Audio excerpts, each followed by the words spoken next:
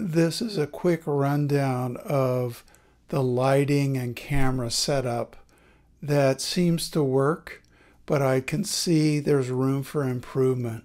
I've got my green screen in the background and it's keyed out pretty nicely.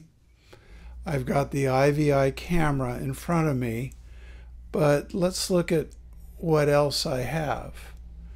This, this is actually shoot up here and shoot is shooting over my shoulder.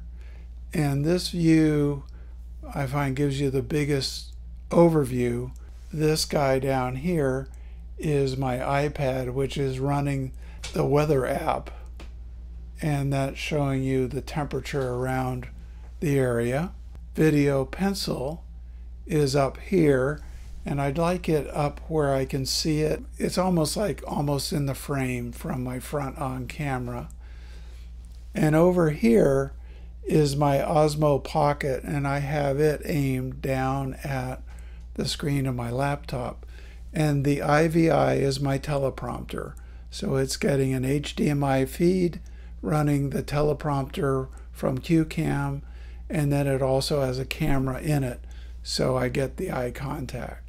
This is my Osmo Pocket 3, and that guy is my backup disc that I plug in once a week to get backup.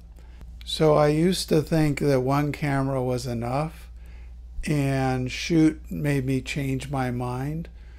And now with the iVi and the Osmo Pocket 3, I'm finding that more angles give me more options.